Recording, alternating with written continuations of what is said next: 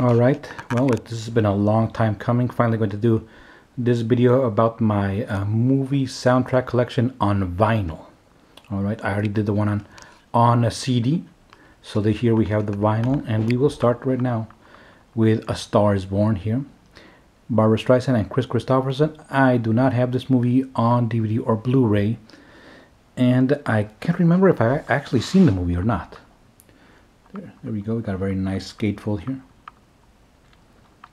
always love it when a when a soundtrack album has a gatefold with uh, pictures from the movie. All right, great music here. There we go, Barbra Streisand. All right, moving right along.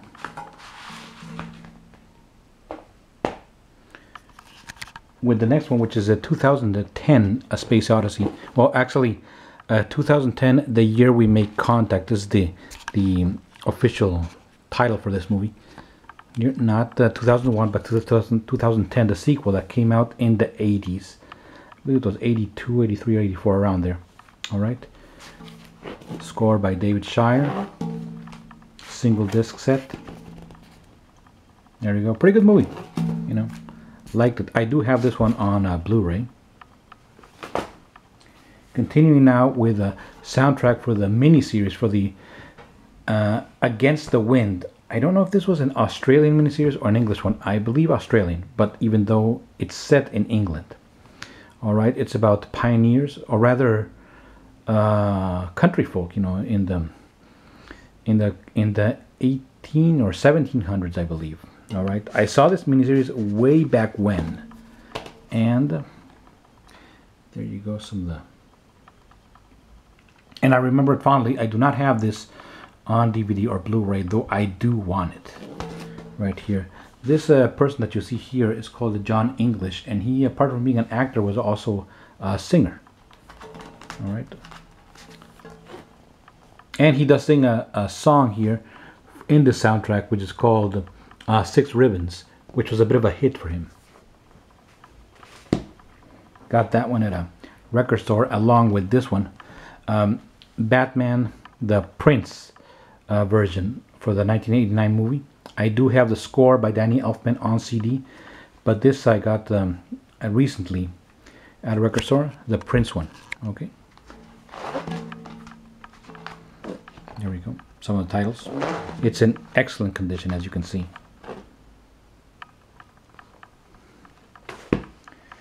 We go now with one of my favorite uh, science fiction movies, and uh, uh, The Black Hole. Here we have a music by John Barry, very good score.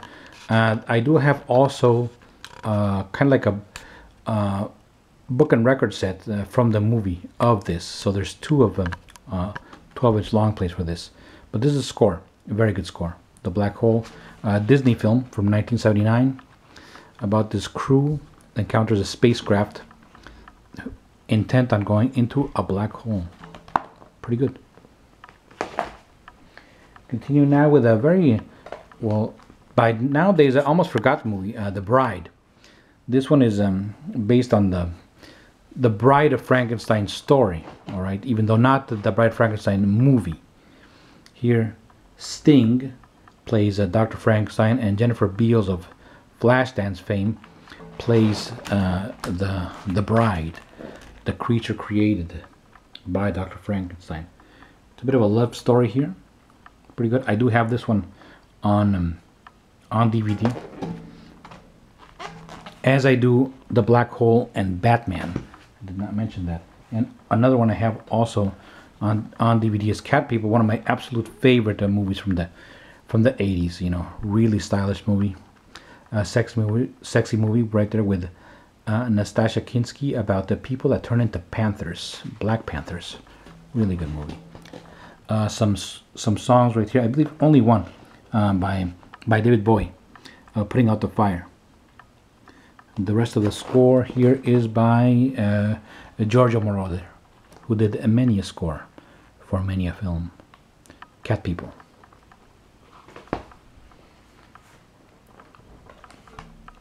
Classic, John Williams, you can't go wrong. Close Encounters of the Third Kind. Here, really good, great gatefold that shows the mothership there. Look at all that. Really nice, really nice. Okay, and like I said, you can't go wrong with John Williams. I really like it when they have a section there that explains, uh, you know, the, the, the soundtrack itself.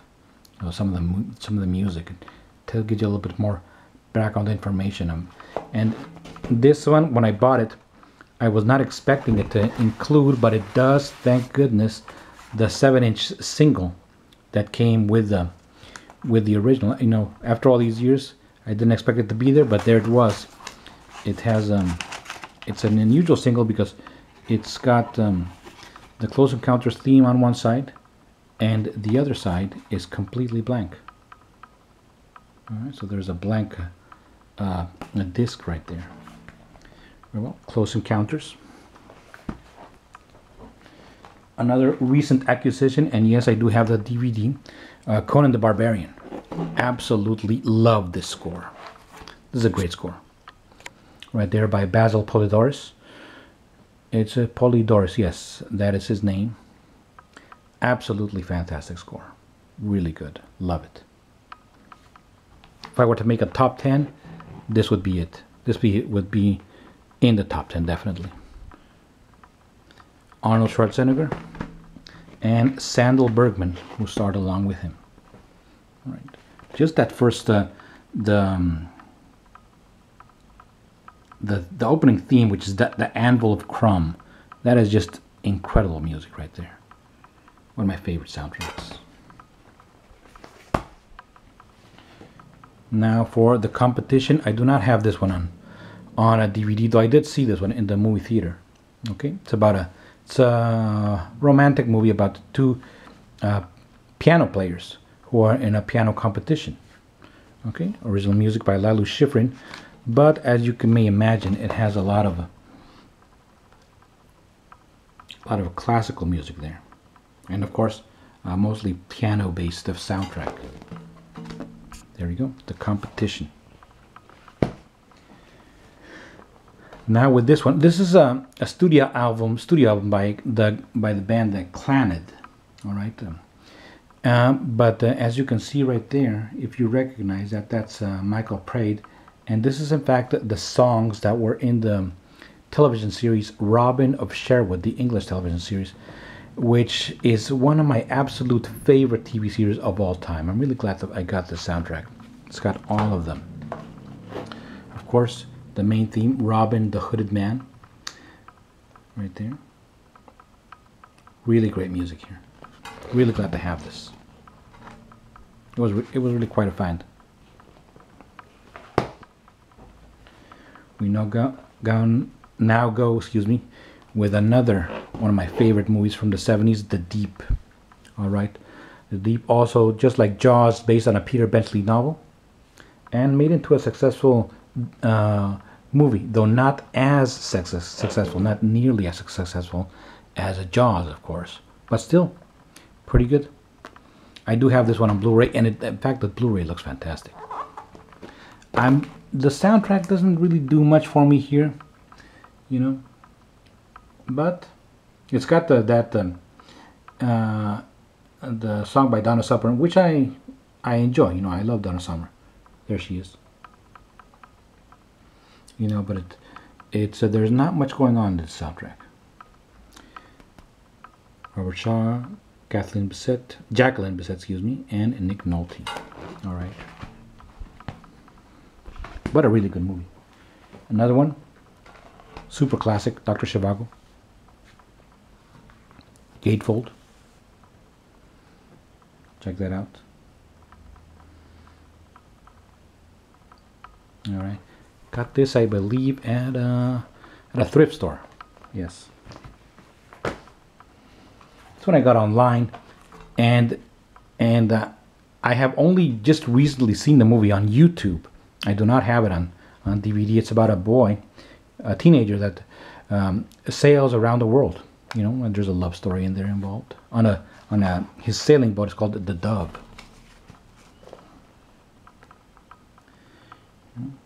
Gregory Peck Gregory Peck presents. You know, the actor. It's kind of unusual there. You know, he was becoming a TV producer, or rather a movie producer back then, in the in the 70s. The absolutely beautiful Deborah Raffin stars in this movie. I wish I had a DVD of this so I could watch it in a proper quality. Or better yet, the Blu-ray. But it does not exist. Okay, Dracula. This is the 1979 version with Frank Langella. You know, going heavy with the with the romance angle there. And uh, by the way, this scene never happens in the movie. Okay, I do have the movie on DVD. Pretty good. The the main thing, main theme for Dracula is, is really good. Dracula. Now, Endless Love here. Brooke Shields.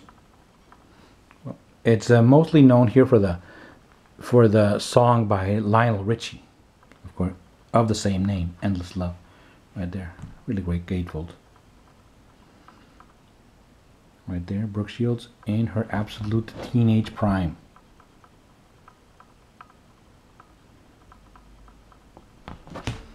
The song Endless Love is uh, played uh, several times here. Here in the same record, you know. It begins here side 1, ends side 1, and then again at the end of side 2. You also have, unusually, I Was Made for Loving You by Kiss right there. I always thought that was uh, rather odd here in this movie, but there you go. Endless Love. Great cover there. Another classic from the 80s, Flash Gordon. Original music soundtrack by Queen. Really good. It's a very, it's rocking, it's electronic. Great. Of course, the main song, Flash Gordon, became a hit for Queen. I do have that one on Blu-ray, and boy, does the, the the colors do pop out on Blu-ray. Another one that I do also have on Blu-ray is Forbidden Planet. This is a, a reissue of the soundtrack. All right, very experimental score, very electronic, which is a and very much ahead of its time. All right, here Forbidden Planet. Got some film notes here in the back that explains how why this uh, this uh, soundtrack did not uh, qualify for an Oscar because it was uh, just so so strange with all of the electronic music. They didn't consider it music at, at the time, only sound effects. All right, but this is one trippy score. Robbie the Robot. Continuing on with a movie that I have not seen, The Great Gatsby. You know, I got this at a at a thrift store love it when it has a a fold out you know a gatefold with pictures and this uh, this gatefold is in fact unusual because you you retrieve the records from the top you know not from not from the side as you would usually do All right Robert Redford and Mia Farrow I, I I have in fact not even I have not seen the movie and I have not even listened to the soundtrack so I gotta get around to that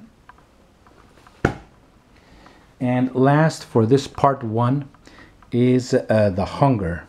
Uh, great movie from the 80s, uh, right there with uh, uh, Catherine Deneuve, Susan Sarandon, and David Bowie. Catherine Deneuve and David Bowie are vampires in this this movie. This the the disc here is a bit scratchy, you know, the the vinyl, but still listenable. Okay, The Hunger. Well, that's it for part one of the of my vinyl soundtracks. So stay tuned for part two. I might have to do it in three parts because I have uh, several of them. Well, that's it. Thank you for watching and so long.